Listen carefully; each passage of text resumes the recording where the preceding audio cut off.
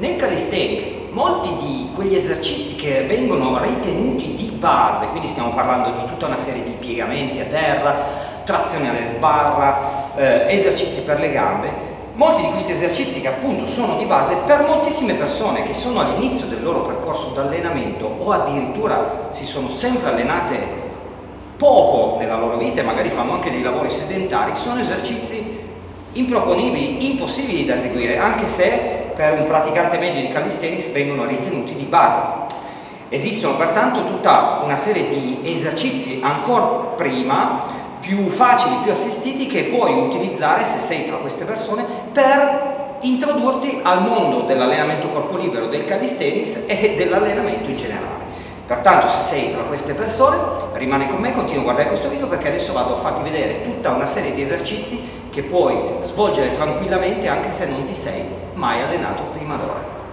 Dunque per iniziare è importantissimo lavorare sugli addominali, rinforzare tutto il corsetto addominale. Un esercizio, un primissimo esercizio in tenuta statica è quello che viene chiamato il tac hollow, quindi gambe raccolte in modo tale che la bassa schiena stia aderente a terra, mani in avanti, vengo in avanti col mento e mantengo la posizione.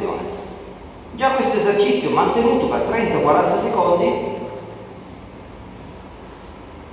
inizia letteralmente a farti friggere gli addominali. Se lo ritieni, ritieni che sia già troppo facile per te, puoi renderlo un pochino più difficile aprendo l'angolo delle cosce rispetto al busto e sollevando le mani verso il soffitto.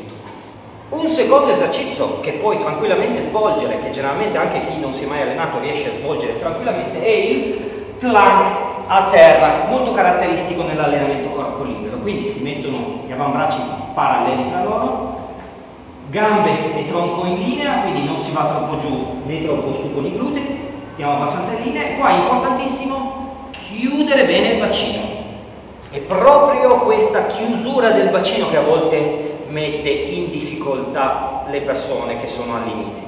Questa chiusura del bacino è importantissima per attivare al meglio gli addominali. Molte persone fanno molta difficoltà, specialmente chi all'inizio, mettendosi in questa posizione inarcata. Questo non va bene. E allora ti consiglio le prime volte, vieni un pochino più sui glutei, immagina letteralmente di strizzare i glutei e questo ti aiuta veramente a ruotare, quel, ruotare dietro il bacino e attivare al massimo gli addominali. Ancora un altro esercizio molto utile per rinforzare l'addome e iniziare a lavorare anche sugli arti superiori, quindi sulle braccia, la camminata sulle mani, quindi da, posizione, da questa posizione raccolta, anche se non riesci a distendere le gambe va bene lo stesso, da qua vengo avanti, camminando proprio sulle mani arrivo fino a questo punto evitando di inarcarmi troppo, mantengo più o meno in linea e torno indietro.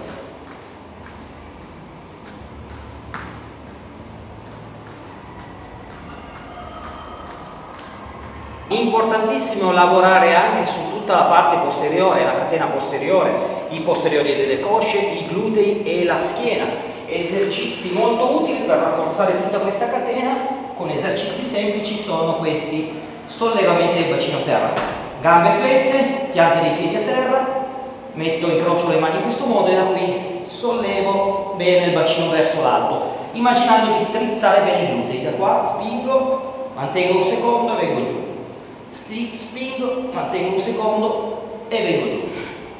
Un altro esercizio utile per lavorare sulle gambe, sulla forza dei quadricipiti in particolare, sono questi squat assistiti al muro ci mettiamo in questo modo, letteralmente spingendosi contro il muro, seduti, cosce parallele al terreno, tibie perpendicolari al terreno, mantengo la posizione anche con le braccia. Molto utile per rinforzare le gambe, molto utile per chi usa questo esercizio per chi ha problemi alle ginocchia. Questa posizione si mantiene per 30-40 secondi fino anche ad arrivare a un minuto. Ed infine un po' di esercizi di trazione, quindi se disponi di un TRX, eh, delle cinghie una corda puoi sfruttarle per eseguire delle trazioni con un'inclinazione del corpo rispetto al pavimento che sia minima inizialmente, altrimenti diventa troppo difficile. Quindi un'inclinazione che sia minima, questa qua può andare bene, giù le spalle, busto, core, gambe, tronco in linea, chiudo bene gli addominali se riesco, giù le spalle, dicevamo, e da qua tiro e vengo, tiro e ridistendo, tiro e. Sempre parlando di trazioni puoi fare ancora un esercizio molto interessante che ti permette di lavorare sulle scapole, rinforzare la cuffia dei rotatori, molto utile per tutte quelle persone che lavorano tanto sedute tutto il giorno in ufficio tutto il giorno, quindi tendono ad assumere nel tempo quella postura, come dire, protratta in avanti, con le spalle che cadono in avanti, con, con la gobba che si forma nel tratto dorsale, con il capo che si protende in avanti. Si tratta semplicemente di aprirsi quindi cercare di restituire un po' di curve fisiologiche alla schiena, quindi da qua giù le spalle, l'inclinazione del corpo non troppo pronunciata, giù le spalle, petto in fuori, tiro e apro verso in questo modo. Tiro e apro. Tiro e apro. Questi esercizi sono solo l'inizio, quindi inizia ad affrontare questi esercizi facilitati per poi nel tempo intraprendere un percorso che ti porta poi a crescere e arrivare a quel livello che noi definiamo di baseline calisthenics, che per molti è già piuttosto avanzato. Bene, con questo è tutto, spero di averti fornito degli spunti utili per i tuoi allenamenti, per iniziare i tuoi allenamenti e ci vediamo nel prossimo video. Ciao!